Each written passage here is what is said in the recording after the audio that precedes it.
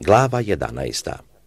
A kad prođe godina, u vrijeme kad carevi idu na vojsku, posla David Joaba i sluge svoje s njim, i svega Izraela, te potirahu sinove Amonove i opkoliše rabu, a David osta u Jeruzalemu. I predveče usta David s postelje svoje i hodajući po krovu carskoga dvora, ugleda skrova ženu gdje se mije, a žena bijaše vrlo lijepa na oči. I David posla da propitaju za ženu i rekoše, nije li to Becabeja kći Elijamova žena Urije Heteina? I David posla poslanike da je dovedu. I kad dođe k njemu, on leže s njom, a ona se bješe očistila od nečistote svoje. Poslije se vrati svojoj kući. I zatrudnje žena te posla i javi Davidu govoreći, trudna sam.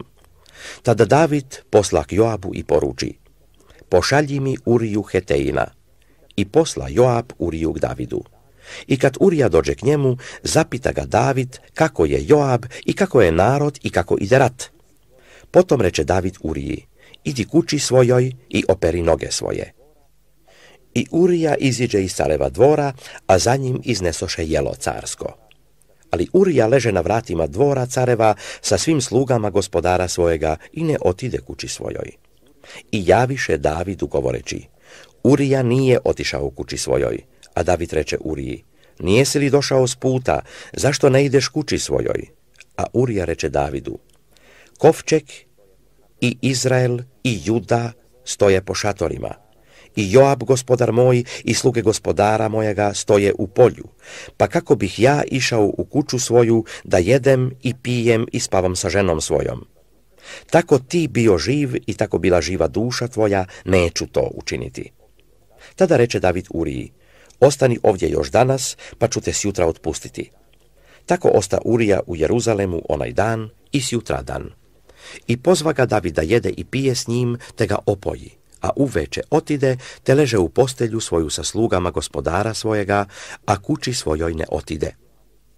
A ujutro napisa David knjigu Joabu i posla po Uriji. A u knjizi pisa i reče, namjestite Uriju gdje je najžešći boj, pa se uzmaknite od njega da bi ga ubili da pogine. I Joab, opkolivši grad, namjesti Uriju na mjesto gdje je znao da su najhrabriji ljudi. I iziđoše ljudi iz grada i pobiše se s judom. I pogibe iz naroda nekoliko sluga Davidovih. Pogibe i Urija Heteim. Tada Joab poslak Davidu i javi mu sve što bi u boju. I zapovjedi glasniku govoreći, kad pripovjediš caru sve što je bilo u boju, ako se razgnjevi car i reče ti, zašto ste išli tako blizu grada da se bijete, zar nijeste znali kako se strijelja z grada? Ko je ubio Abimeleha sina Jerobalova? Nije li žena bacila nanj komad žrvnja sa zida, te pogibe u tebe su? Zašto ste išli blizu zida? Tada reci, poginuo je i sluga tvoj Urija Hetein. I otide glasnik i došavši javi Davidu sve zašto ga je poslao Joab. I reče glasnik Davidu, bijahu jači od nas i iziđoše u polje na nas, ali ih uzbismo do vrata gradskih. A strijelci stadoše strijeljati na sluge tvoje sa zida i pogibe nekoliko sluga carevih, tako i sluga tvoj Urija Hetein pogibe.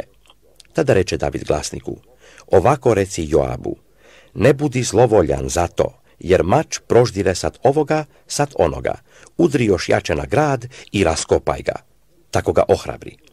A žena Urina, čuvši da je poginuo muž njezin Urija, plaka za mužem svojim. A kad prođe žalost, posla David i uze je u kuću svoju i ona mu posta žena i rodi mu sina, ali ne bješe povolji gospodu što učini David.